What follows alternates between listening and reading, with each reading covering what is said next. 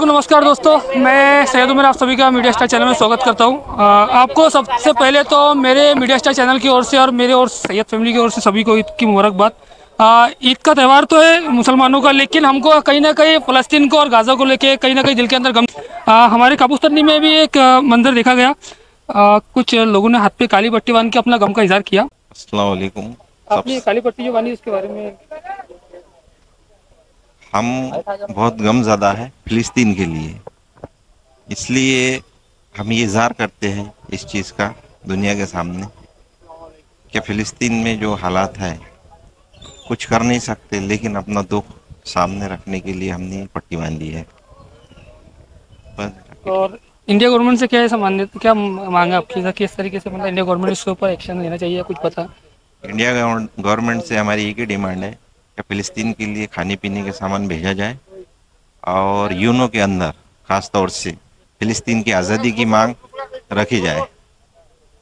तो हम ये चाहते हैं कि मोदी जी इसके लिए पहल करें, क्योंकि हमारा देश शांति प्रिय देश है और इसीलिए हम चाहते कि मोदी जी इस चीज़ में पहल करें और पूरी दुनिया में अपना नाम रोशन करें देश का। यहाँ पे हमारे साथ में और एक शख्स जुड़े यहाँ पे। शेजर भाई आप क्या बताने हैं इसके बारे में? अस्सलाम वालेकुम। सबसे पहले तो मैं सभी मुस्लिम भाइयों को ईद की मुबारकबाद देना चाहता हूँ। और हम जो ये काली जो रेबिन बाने हमने सबने यहाँ पर खड़े हैं साथी साथी तो ये फ़लस्तीन के हित में बने है। हम फ़लस्तीन के लिए दुख ज़ाहिर करते हैं कि हम तो यहाँ जो है अपनी ईद बड़ी खुशियों के साथ मना रहे हैं। लेकिन अपने जो भाई है मुस्लिम भाई है वो बेचारे उनके हालात जो है बहुत ही नाजुक और सख्त है।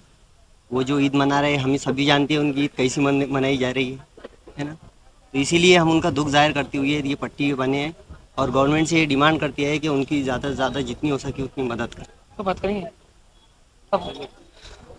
ये तो हमारे साथ में काबुस्तानी के कुछ लोग जिन्होंने अपना गम का इजहार इस तरीके से किया कि हम लोग वहाँ तक तो नहीं पहुँच सकते गाज़ा और फ़लस्तीन तक के। वहाँ ईद मनाई जा रही है मुसलमानों के अंदर लेकिन कहीं ना कहीं गम का इजहार भी मुसलमानों के अंदर मौजूद है। आ, हमारे साथ में काबू सन्नी के काजी साहब भी जुड़े हैं। काजी साहब आप ईद के बारे में क्या बताना चाहिए ईद क्या अल्लाह की तरफ़ से इनाम का दिन होता है।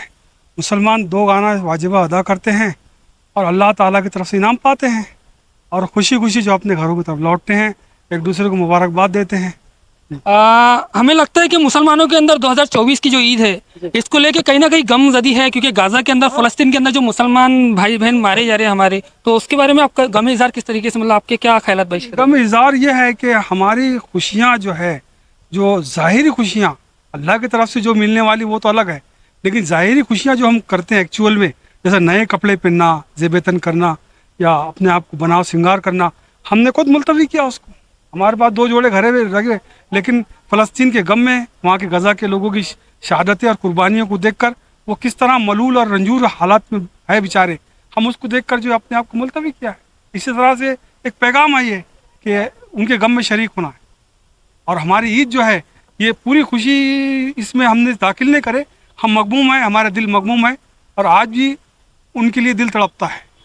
मौली साहब आप क्या बताना चाहेंगे भाई साहब ने तफसील से जो बातें बयान की मैं उसकी तायद करता हूँ।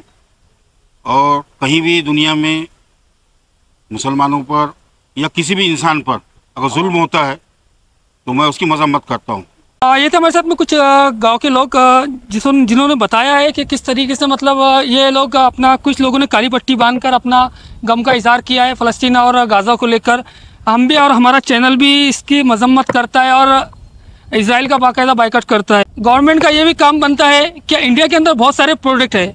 इसराइल के प्रोडक्ट को बाइकआउट करके इंडिया का पैसा इंडिया के अंदर ही रहेगा। अगर से इंडिया का प्रोडक्ट इस्तेमाल करती है तो गवर्नमेंट ने भी इसके अंदर अपना एक हाथ बढ़ाना चाहिए मुसलमान समुदाय के साथ साथ मिलकर।